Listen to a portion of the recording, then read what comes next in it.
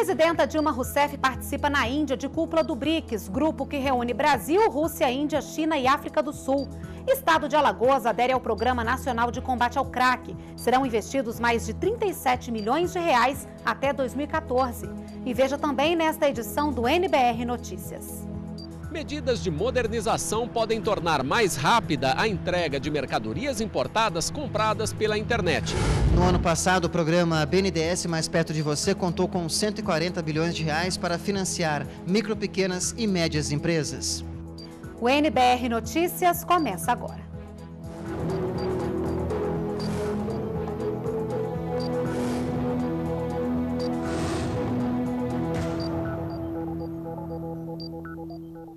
Olá, boa noite.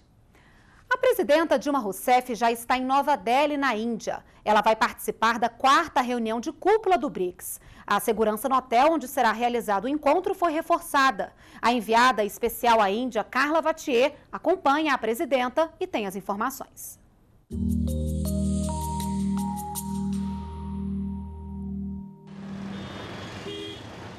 Uma confusão onde todos se entendem. Assim é o trânsito na capital Nova Delhi. A quarta cúpula dos BRICS mexeu com a rotina de alguns lugares da cidade. Aqui no hotel onde vai ser realizado o encontro, a segurança foi reforçada. Todo carro que chega é revistado. São checados motor e porta-malas. E até um cão farejador é acionado quando necessário. A presidenta Dilma Rousseff já está em Nova Delhi. Desembarcou na base aérea por volta da uma da tarde, horário local, ainda madrugada no Brasil foi recebida pela ministra de Assuntos Estrangeiros da Índia. No hotel ganhou um colar de flores e um bindi, o tradicional pontinho vermelho na testa, marca registrada dos indianos. Hoje ela não teve compromissos oficiais e ficou no hotel para descansar. Dilma Rousseff veio acompanhada de uma comitiva de ministros e governadores. Além da reunião dos BRICS, a viagem à Índia tem uma outra importância. É a primeira visita oficial da presidenta Dilma Rousseff ao país uma oportunidade para estreitar os laços, firmar parcerias e ampliar o comércio. De acordo com dados do Ministério das Relações Exteriores, o volume de negócios entre os dois países aumentou quase 10 vezes nos últimos nove anos.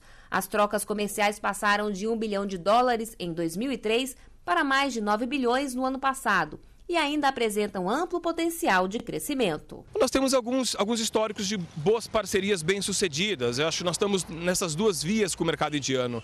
Empresas indianas atuando no Brasil e o Brasil também organizando, por meio de várias ações de promoção de comércio exterior aqui na Índia, produtos que nós estamos tentando emplacar aqui já há algum tempo. Então ela está ela, ela, ela tá, ela tá numa fase bastante inicial, mas bastante promissora.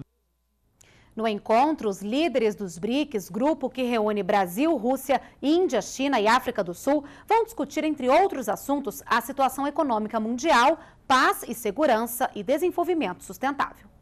A ideia dos BRICS, que reúne Brasil, Rússia, Índia e China, surgiu fora das esferas governamentais foi formulada em 2001 a partir de um estudo do economista Jim O'Neill, do Goldman Sachs, um dos maiores bancos de investimento do mundo, sobre as perspectivas de crescimento econômico desses países. Com projeções até 2050, o documento previa que os BRICS se firmariam entre as maiores economias do mundo. Cinco anos depois, o conceito foi incorporado à política externa dos quatro países. A África do Sul passou a fazer parte do grupo. Dos BRICS, o Brasil foi o país que menos cresceu no ano passado, 2,7%. A China teve crescimento do PIB de 9,2%. A Índia chegou a 6,9% e a África do Sul cresceu 3,1%. Para esse economista, no entanto, isso não é necessariamente um problema para o Brasil, nem diminui a importância do país dentro do grupo. O especialista alerta que não basta acumular riqueza, é importante crescer melhorando a qualidade de vida da população. O Brasil ficou na lanterna, mas o Brasil, em termos de PIB per capita, está muito mais adiante do que a maior parte dos países do BRICS, principalmente em relação à Índia, China e à Rússia. A população brasileira hoje vive um nível de vida muito melhor, é, de, uma, de uma integração social, de, um, de uma demanda interna muito maior do que você vê nessas outras economias. A quarta cúpula dos BRICS, que será realizada aqui na Índia, ocorre num momento delicado para a economia global, principalmente por causa do agravamento da crise vivida pelos países da zona do euro. A questão econômica vai estar no centro dos debates, mas não será o único assunto a ser discutido pelos líderes. A temática econômica deve ter uma terá certamente é, será objeto de grande atenção pelos líderes, assim como a agenda de paz e segurança internacional. Também discutiremos desenvolvimento sustentável, é, onde a presidenta Dilma falará sobre a reunião, a Conferência das Nações Unidas e o Mais 20 sobre Desenvolvimento Sustentável, que nós vamos realizar no Brasil agora em junho. Realidades diferentes, mas muitos interesses em comum. Esses países emergentes ocupam e ocuparão uma fatia cada vez maior da economia global. Os países né, que nós denominamos de Zeus, que é a zona do euro, e os Estados Unidos, é, esses países já estão num, num processo é, de, de, cansaço nas suas economias. Então, são exatamente as, as, as economias emergentes que virão para ocupar o lugar desses países. Atualmente, os BRICS representam 43% da população mundial, 42% da força de trabalho tem comércio entre si de 250 bilhões de dólares e, em 2012, segundo o FMI, responderão por 56% da economia mundial, enquanto o G7, grupo dos sete países mais industrializados do mundo, apenas 9%.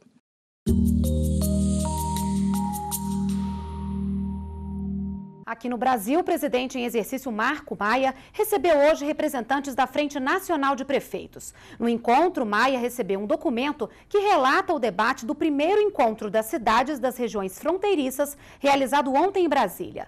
O texto apresenta ainda novas propostas para situações vividas pelas cidades brasileiras que fazem fronteira com outros países. As informações são da assessoria do presidente em exercício.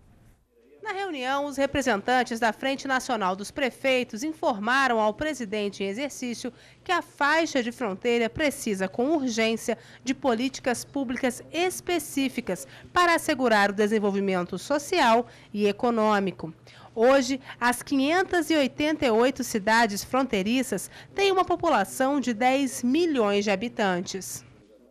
E prefeitos e representantes de municípios de todo o país estão participando aqui em Brasília do primeiro encontro dos municípios com desenvolvimento sustentável. Na abertura do evento vai ser lançada uma publicação e um curso para orientar gestores na elaboração de planos de gestão de resíduos sólidos. O repórter Paulo La Sálvia tem mais informações ao vivo. Paulo, boa noite.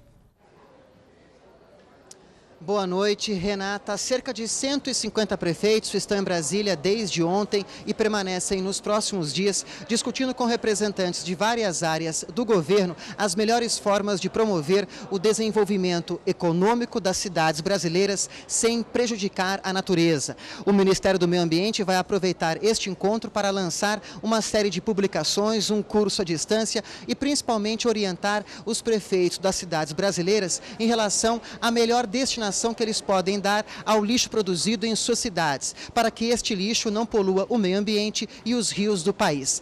Paralelamente a esta discussão, outro tema que vai ser debatido aqui neste encontro é o apoio às micro e pequenas empresas, que geram emprego e renda e também ajudam no combate à extrema pobreza e à miséria. Resumindo, é o desafio do desenvolvimento sustentável. Além de prefeitos, especialistas, jornalistas, vários ministros vão passar aqui por este encontro nos próximos dias e também está confirmada para a abertura oficial do encontro o presidente da República em exercício, o deputado Marco Maia. Também é importante lembrar que todas as propostas discutidas aqui neste encontro em Brasília vão ser levadas pelo governo para a cidade do Rio de Janeiro em junho, para a Conferência das Nações Unidas sobre o Desenvolvimento Sustentável, a Rio Mais 20.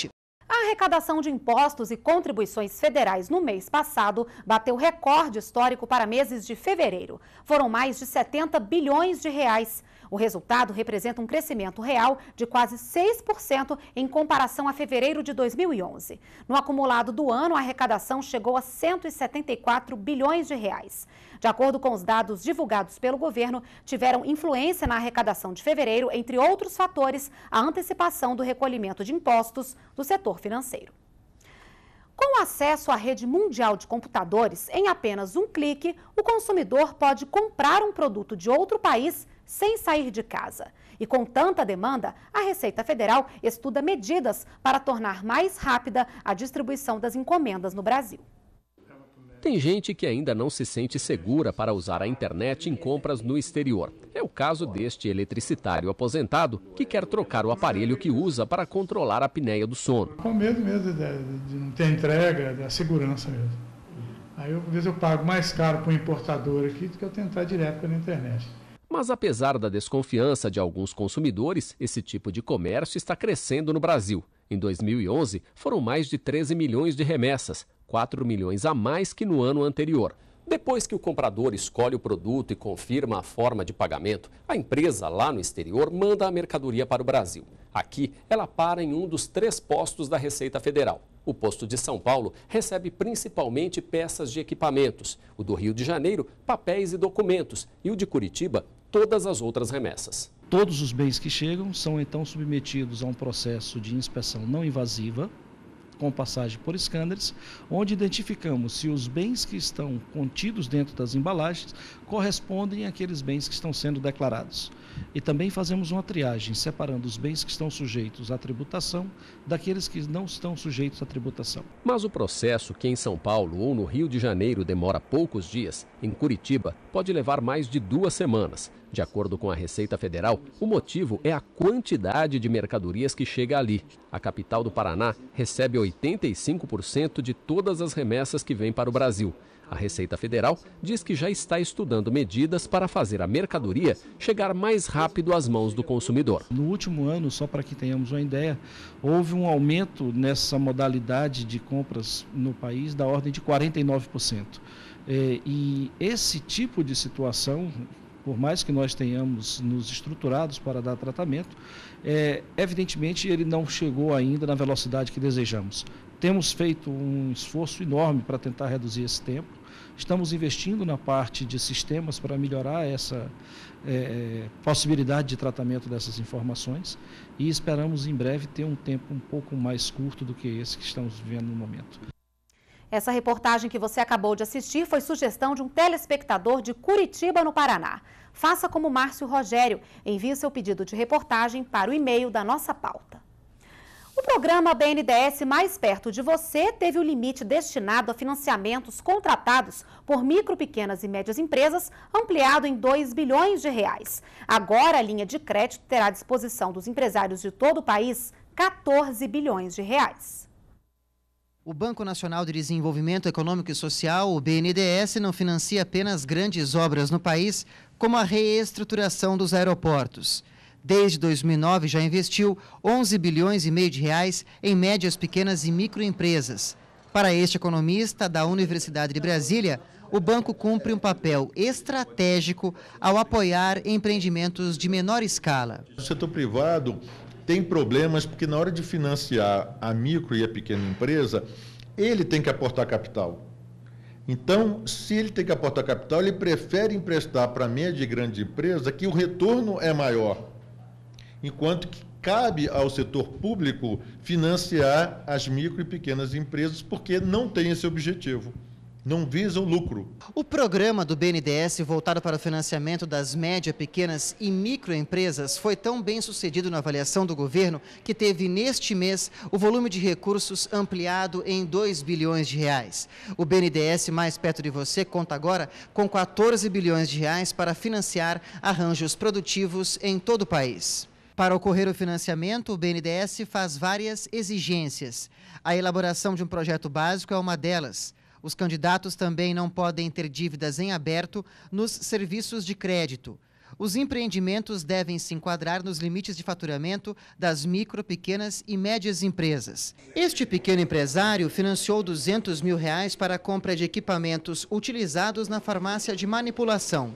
Com juros de 1% ao mês e quatro anos para pagar o empréstimo, ele vê no programa um ótimo negócio. Basta procurar o seu banco, né, que você já mantém relacionamento, ou acessar o portal do BNDES para poder fazer o cadastro é, para adquirir o cartão. Então, é bastante simplificado e sem burocracia. Com essas taxas é, acessíveis, né, fica bem mais fácil é, para que o, o micro e pequeno empresário possa é, de alguma forma, ampliar o seu negócio. Né?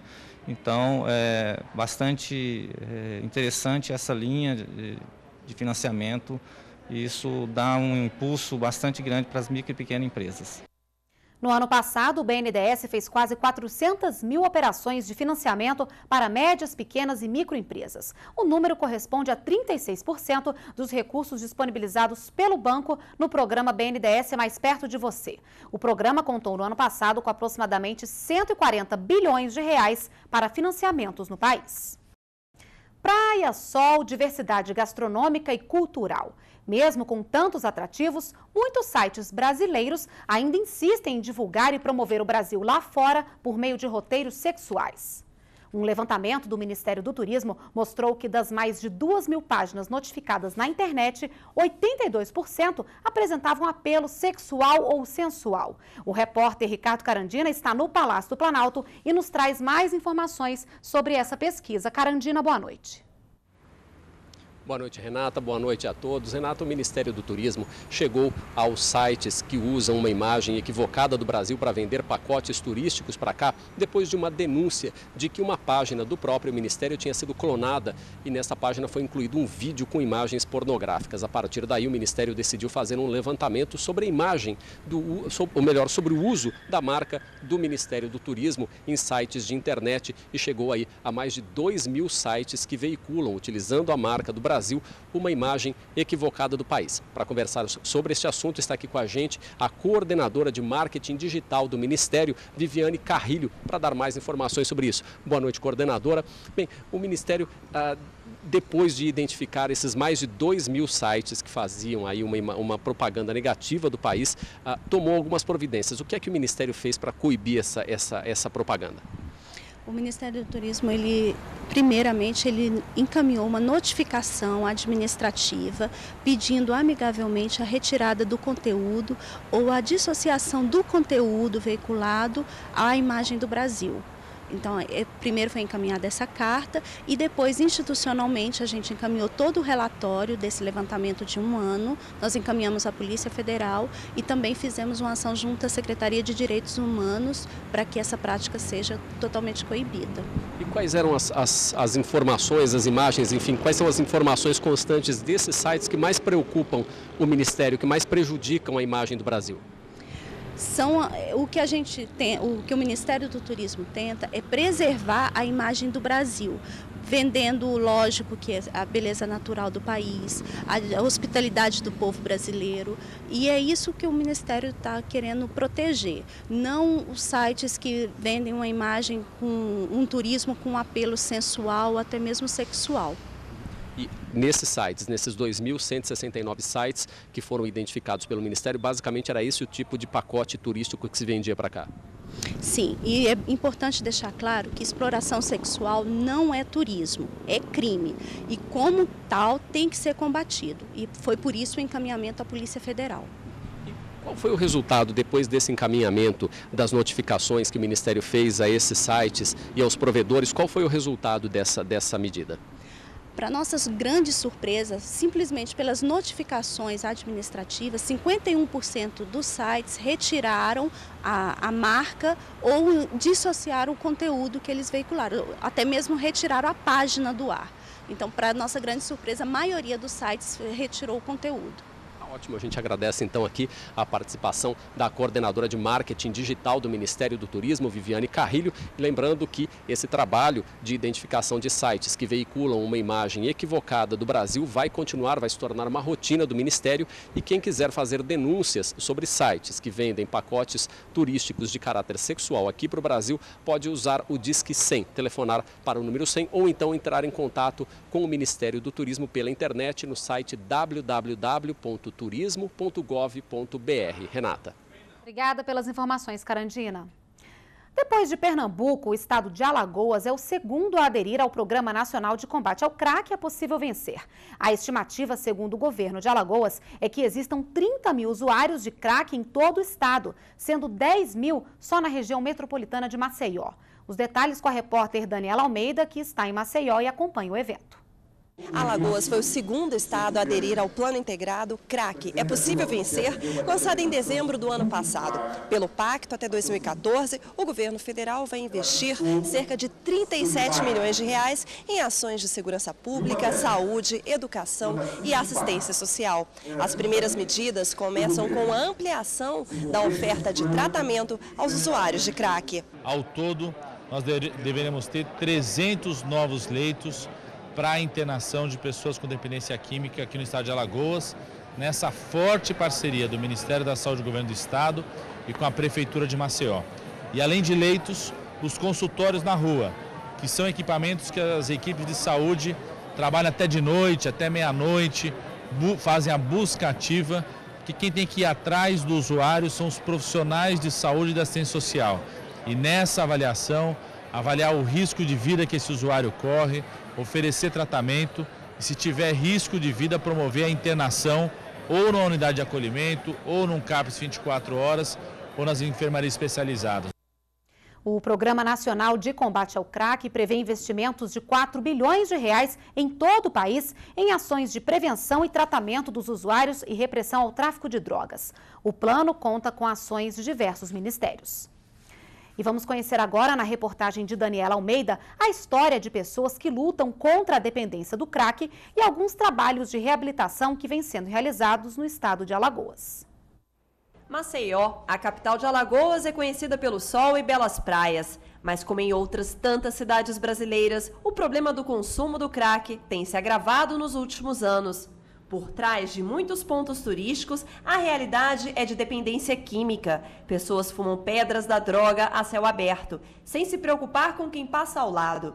Essa usuária de crack teve o marido morto pelo tráfico e, apesar dos laços familiares desfeitos, junta forças para atender aos apelos do filho de 11 anos. Eu chorei no dia que ele olhou para mim assim e fez: Manhã, eu tenho fé em Deus que eu vou crescer. Eu vou trabalhar amanhã e vou ajudar a senhora.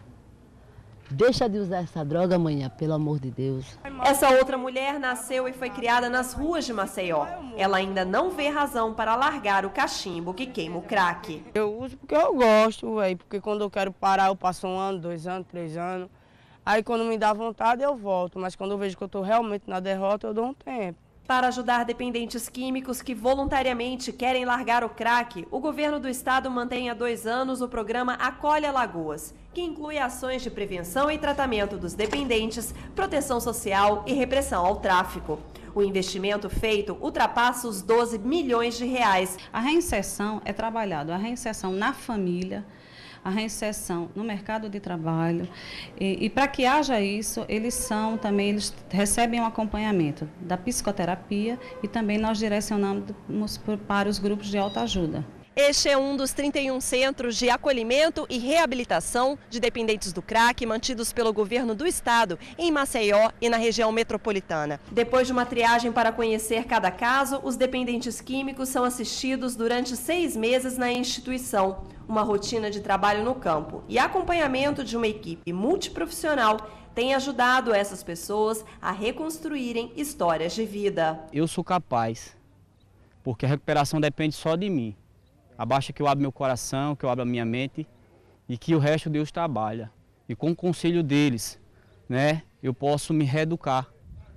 Eu não vou ser mais marginalizado, porque eu antes de falar, eu penso para não machucar o próximo.